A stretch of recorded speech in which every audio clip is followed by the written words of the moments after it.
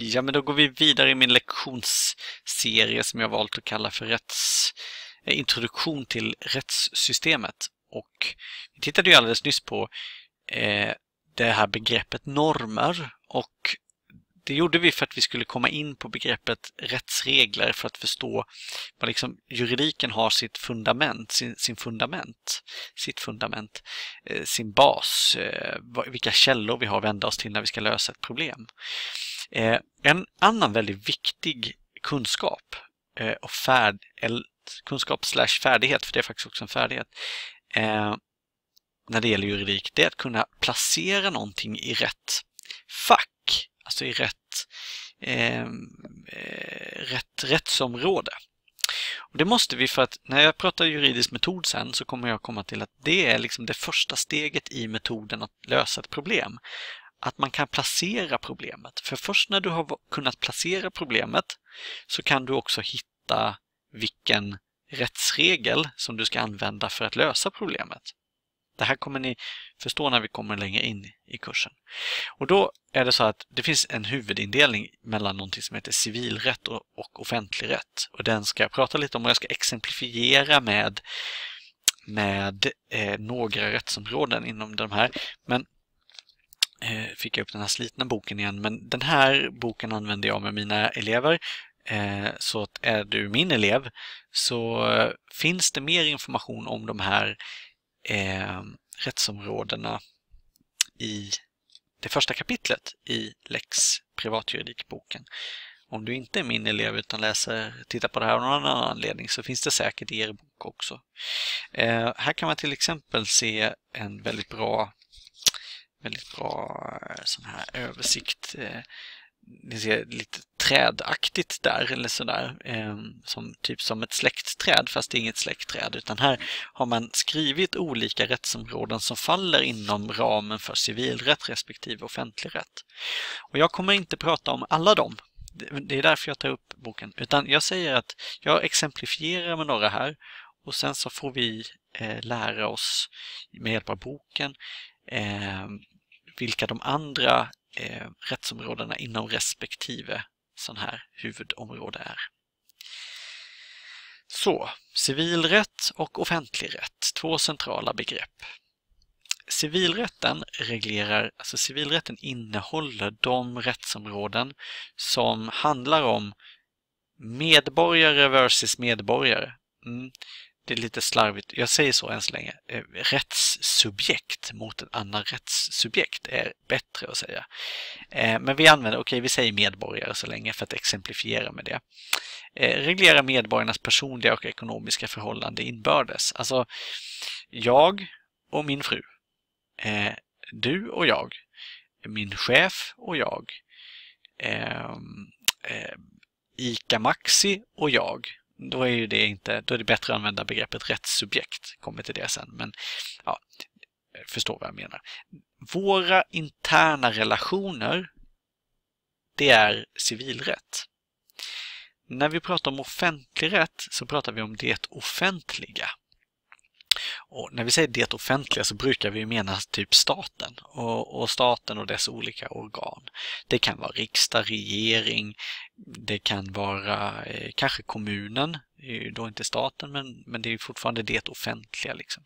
Staten och dess olika organ kan vi säga.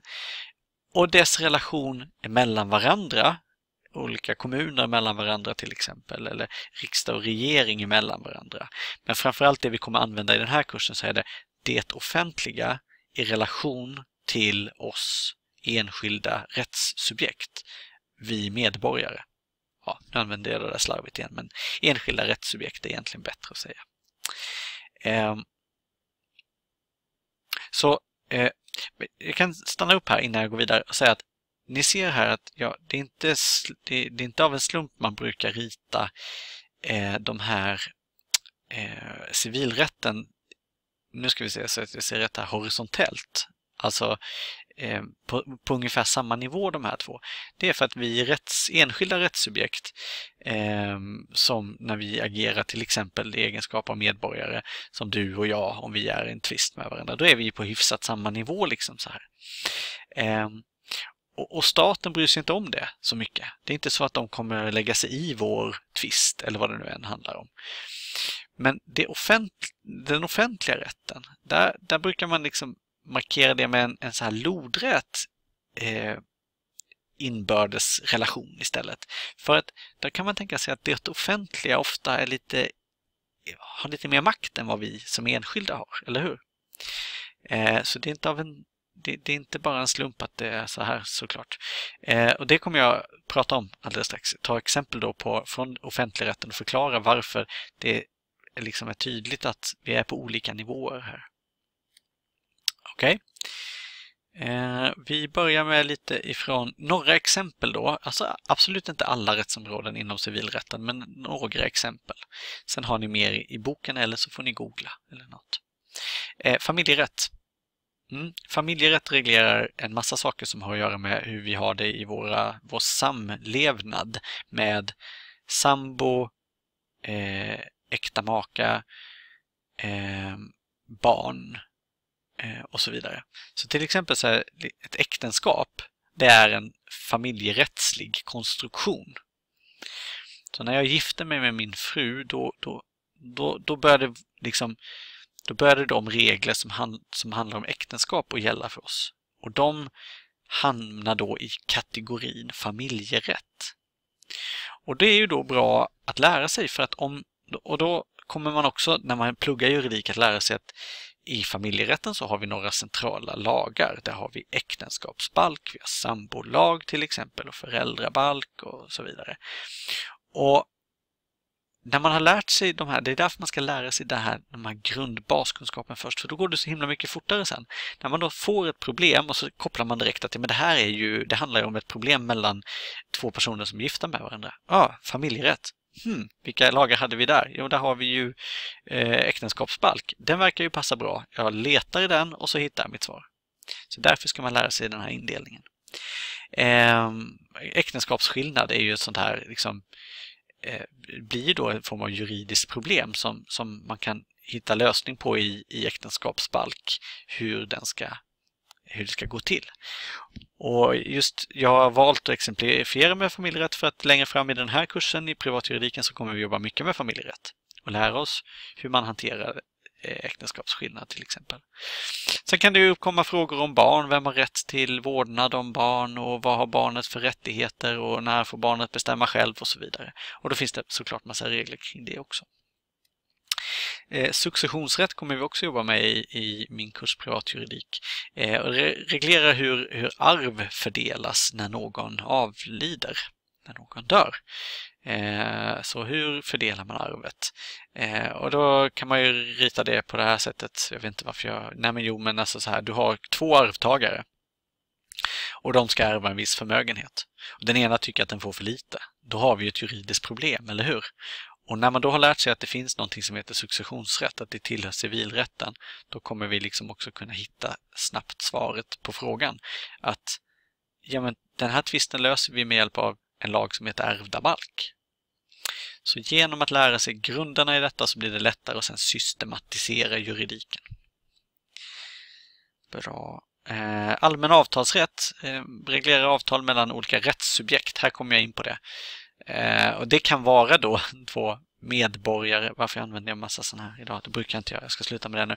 Två medborgare, eh, du och jag till exempel. Om du och jag har ett avtal med varandra så är vi olika rättssubjekt. Du är ett rättssubjekt och jag är ett rättssubjekt. Ett rättssubjekt, det är man om man Alltså det kan vara du eller jag. Det kan också vara ett eh, företag till exempel. Ett rättssubjekt är alla och allt som på något sätt kan vara föremål för en juridisk prövning eller en part i juridisk prövning. Eh, så jag kan ju ha en tvist med ICA som inte är med Kalle på ICA utan med ICA. Då är jag ett rättssubjekt och ICA ett rättssubjekt. Så företräds de av någon, för ICA kan inte själv sitta i domstolen och prata såklart. Men om du och jag är i tvist så kan ju du prata för dig och jag pratar för mig och det är lättare att förstå att vi är rättssubjekt. Eh, så den allmänna avtalsrätten den handlar om bara generella regler kring eh, hur man får och inte får ingå avtal. Sen finns det eh, ja, just det. Om vi har tvister här så prövas de i allmän domstol. Det begreppet kommer jag ju prata om snart när jag pratar om domstolarna längre ner. Allmän domstol. Samma sak i familjerätten prövas och successionsrätten. Också allmän domstol. Eh, sen finns det något som heter speciell avtalsrätt eller kontraktsrätt. Eh, och det är en del av avtalsrätten skulle man kunna säga, men den är mer specialiserad. Avtal, allmän avtalsrätt är liksom helt allmänt hur ingår vi avtal med varandra och när är ett avtal ogiltigt och så. Den speciella avtalsrätten eller kontraktsrätten, den är väldigt detaljerad. Så till exempel så finns det något som heter arbetsrätt som då reglerar förhållandet mellan arbetsgivare och arbetstagare. Eh, vad, vad det ska stå i anställningsavtal och vad står det i lagen och är anställningsavtalet lagligt och så vidare. Massa sådana frågor. Eh, och Det är också då en del av civilrätten mellan två enskilda rättssubjekt. Inte mellan staten och dess organ och vi som enskilda medborgare, enskilda rättssubjekt. Eh, tvisterna eh, i arbetsrätten prövas i allmän domstol, precis som eh, avtalsrätten och, och, familjerätten och successionsrätten. Men här har vi också någonting som heter specialdom, alltså en specialdomstol som kallas Arbetsdomstolen som också kan döma. Jag nämner det nu för att jag kommer komma in på domstolarna snart. Så då ska ni känna till de här begreppen allmän domstol framför allt. Men det finns också väldigt specialiserade domstolar, till exempel Arbetsdomstolen. Behöver ni inte lägga så mycket vikt vid just nu. Konsumenträtt är en annan sån här del av den kontrakts, av kontraktsrätten, den speciella avtalsrätten. Eh, förhållandet mellan säljare, om denna är näringsidkare, alltså med det menar vi ett företag. Vi kommer också jobba med konsumenträtt längre fram så då får ni lära er mer om det. Och köpare, om köparen är konsument. Och konsument är man om man inte är näringsidkare. Eh, man handlar för sitt eget privata bruk. Liksom. Och där kan det ju uppstå massa tvister och konflikter såklart. Eh, vad, vad, står det i avtalet och är avtalet lagligt? Eh, det, vi har inget avtal, hur ska vi då lösa tvisten? Och så vidare. Eh, då är det också civilrätt. Eh, samma sak där, eh, tvister prövas i allmän domstol. Det kan jag generellt säga att de flesta civilrättsliga ärenden prövas i allmän domstol. Eh, mm. Som, sen finns det jätte, jättemånga fler, supermånga olika kontraktsrättsliga områden, eh, supermånga eh, civilrättsliga områden. Men eh, läs om dem i boken. Det blir bra. Första kapitlet i läxboken, Lex privatjuridik. Eh, annars någon annanstans. Offentlig rätt då. Ja, jag sa att det var relationen då mellan staten och dess organ och oss medborgare, enskilda. Eh, till exempel processrätt. Hur domstolarna ska arbeta, hur domstolarna ska, vad de ska ha och ta ställning till och, och processen i domstolar och sådär. Det kallar vi för processrätt. Eh, sen har vi straffrätten som jag brukar börja med efter den här introduktionen till rättssystemet så brukar jag börja jobba med straffrätten som det första riktiga rättsområdet. Eh, där vi börjar jobba med juridisk problemlösning också. Och det är en det, det är offentlig rätt för att straffrätt är nämligen så att det är staten som har bestämt att vissa ageranden ska vara olagliga, brottsliga till och med. Och när staten lägger sig i vårt privatliv så till den milda grad att de sätter oss i fängelse, ja då förstår ju vi att den där med att jag hade ritat att staten är här uppe och vi är här nere, då förstår ju vi det maktförhållandet. Om staten får sätta oss i fängelse, det är ju ett jättemaktmedel liksom. Och, och det kännetecknar offentligrätten att staten ofta har mer makt, och staten och dess olika organ och kommun och det offentliga helt enkelt har mer makt. Det kan man se lite grann i lagarna faktiskt, för att när det kommer till offentligrättsliga lagar så är de eh, de, de, är oftast eh, tvingande. Det betyder att vi kan inte välja om vi vill använda dem eller inte, utan de ska alltid användas. Och de också innehåller stora eh, eh, stora delar som handlar liksom om statens skyldigheter då, när staten nu har den här makten. Det offentliga har den här makten. Vad har de då också för skyldigheter gentemot oss? Eh, till exempel så vet ju ni att ja, man är oskyldig tills dess att dom har fallit som och, och, man, är, man är oskyldig om, om det inte är ställt utom rimligt tvivel att man är skyldig till ett visst brott till exempel. Alltså sådana saker som ger oss enskilda lite rättigheter gentemot det offentliga som har makten. Då.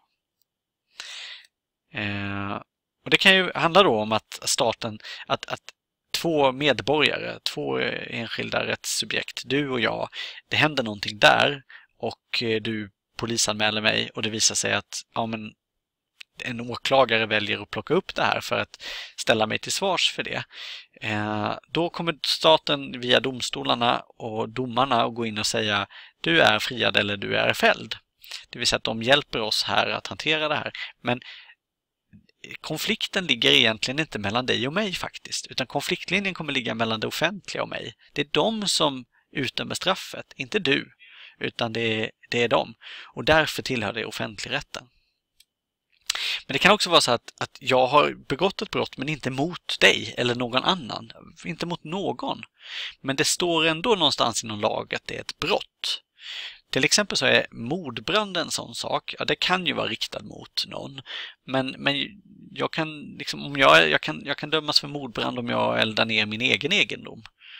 Eh, mordbrand betyder inte heller, det ska vi prata om i straffrätten sen, att man faktiskt dödar någon med den här branden. Utan det räcker liksom att det uppstår fara.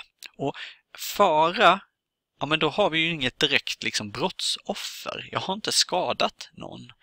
Men det fanns en risk att du skulle skadas.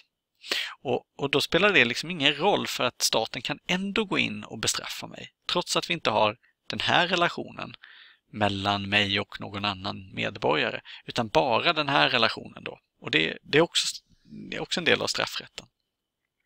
Det finns många sådana brott som egentligen saknar en, eh, ett brottsoff, tydligt brottsoffer.